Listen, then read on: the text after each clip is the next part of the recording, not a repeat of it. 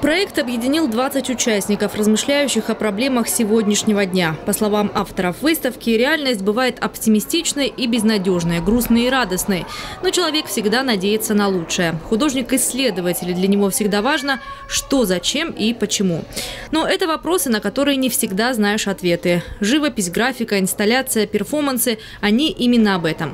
Молодые художники готовы к диалогу со зрителем. Свои работы здесь представили Максим Татаров, Анастасия Онищенко, Мэгги Липсверидзе, Винсент Куманяев, Екатерина Бакадорова, Оксана Сотникова, Эдуард Долевский и многие другие. Выставка будет работать до 4 февраля. Вход свободный.